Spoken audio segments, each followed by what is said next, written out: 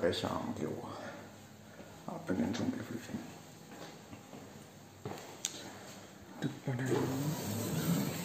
Hat da ist gerade noch ein Schiff von hier.